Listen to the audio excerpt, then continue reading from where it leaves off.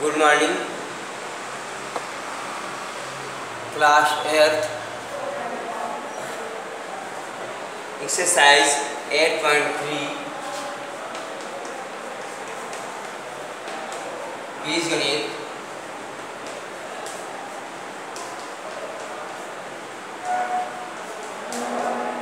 Question number चौथे का first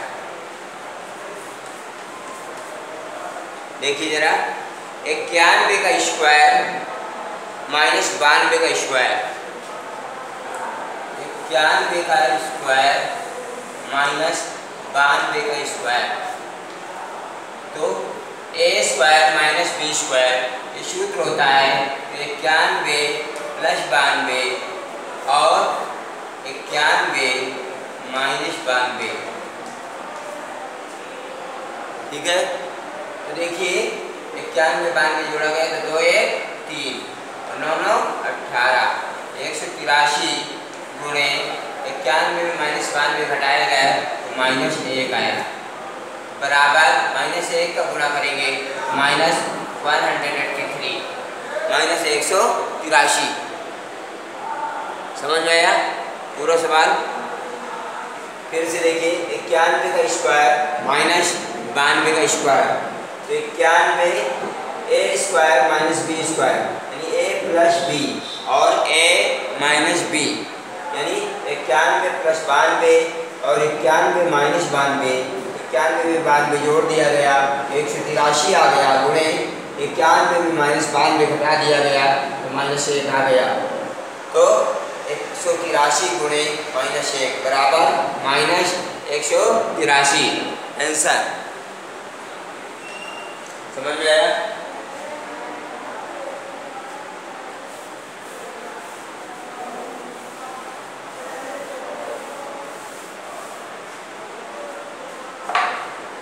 अगला। इसी तरह है सेकेंड नंबर उनहत्तर का स्क्वायर माइनस उन्यासी का स्क्वायर सेकेंड नंबर चौथे का ही सेकेंड है।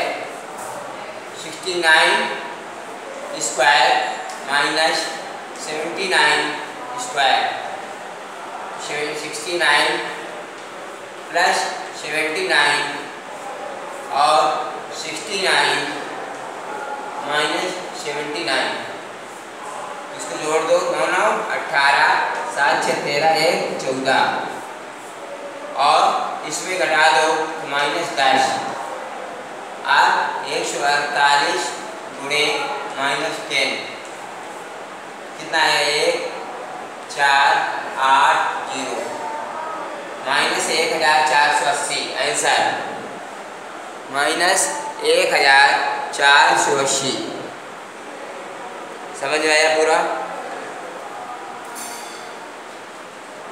उनहत्तर का स्क्वायर माइनस उन्यासी का स्क्वायर यानी a square minus b square तो ए प्लस बी यानी उनहत्तर प्लस उन्यासी। एक कोर्स में, दूसरे कोर्स में ए माइनस बी यानी उनहत्तर माइनस उन्यासी। आप उनहत्तर उन्यासी को जोड़ दिया तो नौ नौ अठारह। सात छः तेरह एक चौदह, एक सौ अड़तालीस गुणे, फिर उन्यासी, उनहत्तर माइनस उन्यासी घटा दिया, लेकिन माइनस का टेन आया। अब माइनस टेन का गुणा एक सौ अड़तालीस में करेंगे, एक सौ अड़तालीस गुणे माइनस टेन बराबर माइनस एक हज़ार चार सौ अस्सी आंसर समझ में आया? पूरा सवाल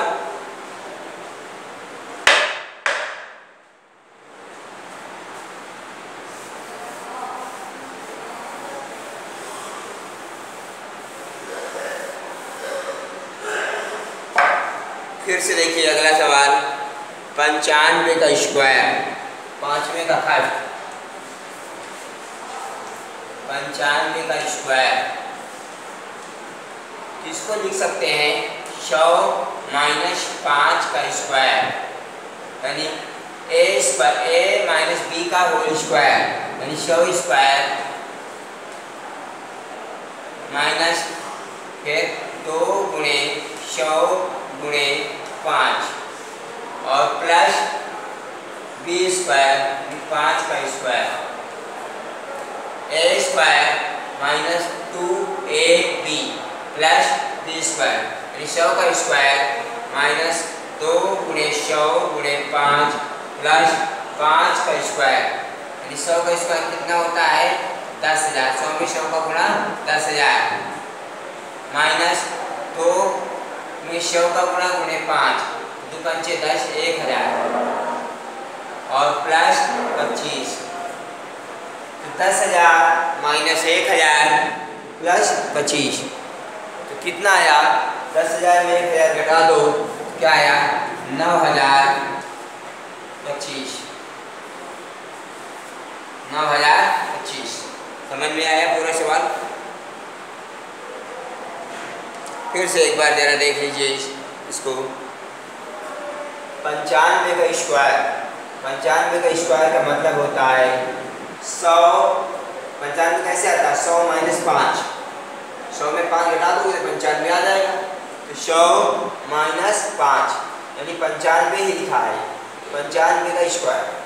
तो अब ए माइनस बी दो संख्याएँ हो गई। A a square minus two a b plus b square. यानी सौ का स्क्वायर माइनस दो गुणे सौ गुणे पाँच प्लस पाँच का स्क्वायर। तो सौ का स्क्वायर कितना हो जाएगा? सौ में सौ का गुणा दस हज़ार। दस हज़ार माइनस दो गुणे सौ गुणे पाँच। कितना हुआ सौ दो दो सौ पंचे एक हज़ार। और पाँच पाँच हज़ार पच्चीस। तो दस हज़ार में एक हज़ार घटा दिया। कितना है? नौ हज़ार और पच्चीस जोड़ दिया। तो नौ हज़ार पच्चीस आ गए। ठीक है, ये सर्वसमिका की सहायता से आसानी से लग जाता है। आगे देखिए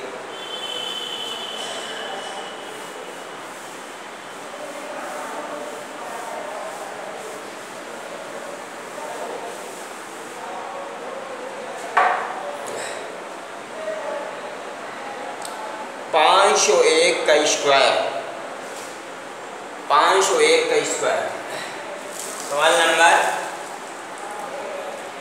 सेकेंड ये पांचवे का फ़र्स्ट था और सेकेंड पांचवे का। पाँच सौ एक का स्क्वायर तो इसको देखो ए प्लस बी से लगा दीजिए। तो पाँच सौ प्लस एक का स्क्वायर बराबर पाँच सौ का स्क्वायर प्लस दो गुणे पाँच सौ गुणे एक प्लस एक का स्क्वायर। पाँच और पाँच का गुणा कितना हुआ? पच्चीस आगे दो ज़ीरो, चार ज़ीरो। ठीक है? दो लाख पचास हज़ार प्लस एक हज़ार। प्लस एक। तो आप एक जोड़ दो। अब इसके बाद ज़ीरो, फिर ज़ीरो, फिर इसके बाद एक, फिर पाँच, फिर दो। तो कितना आया? दो लाख इक्यावन हज़ार एक। दो लाख इक्यावन हज़ार एक। समझ में आया पूरा? फिर से इसको देखिए ज़रा। पाँच सौ एक है। तो पाँच सौ एक को हम ए प्लस बी के रूप में बदलेंगे तो पाँच सौ प्लस एक हो गया। पाँच सौ प्लस एक का स्क्वायर यानी पाँच सौ का स्क्वायर प्लस दो गुणे पाँच सौ गुणे एक प्लस एक का स्क्वायर पाँच सौ का स्क्वायर करेंगे। दो लाख पचास हज़ार आएगा। पाँच सौ में पाँच सौ का गुणा। प्लस दो गुणे पाँच सौ गुणे एक। यानी दो दो में पाँच सौ का गुणा करेंगे क्या आएगा? एक हज़ार। और एक का गुणा करेंगे तो कोई फ़र्क नहीं पड़ेगा। एक ये एक हज़ार आया। फिर प्लस एक का स्क्वायर एक।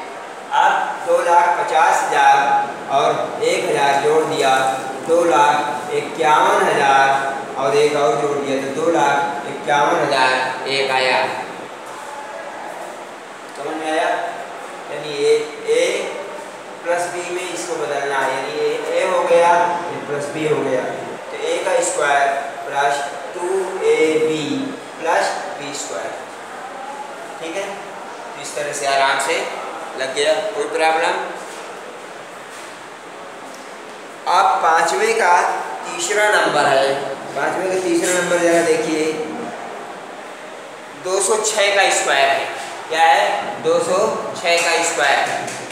तो 206 का स्क्वायर का मतलब होता है 200 प्लस छः 200 प्लस छः का स्क्वायर इसको कर देना ए प्लस बी बन जाएगा। और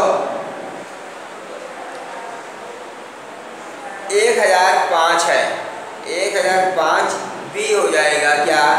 एक हज़ार प्लस पाँच। एक हज़ार प्लस पाँच। ये भी ए प्लस बी का होल स्क्वायर ही बनेगा। तो कोई प्रॉब्लम है? नहीं होना चाहिए। आप छठवें नंबर से कल लगवाए जाएँगे। ठीक है? छठवें नंबर से कल लगवाएँगे। पाँचवें नंबर तक के सवाल सबको लग, सबके लग जाने चाहिए। ये काम कंप्लीट करते रहिए। ज़्यादा ठीक है? ठीक है? कोई प्रॉब्लम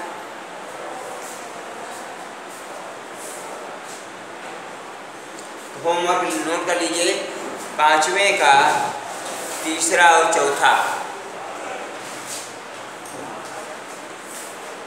होमवर्क। पाँचवें का क्वेश्चन नंबर फाइव का तीसरा और चौथा। एक करके रहना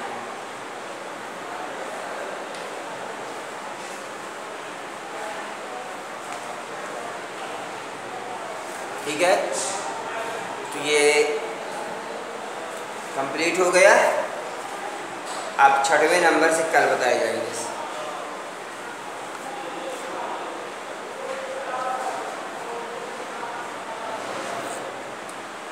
Goodbye.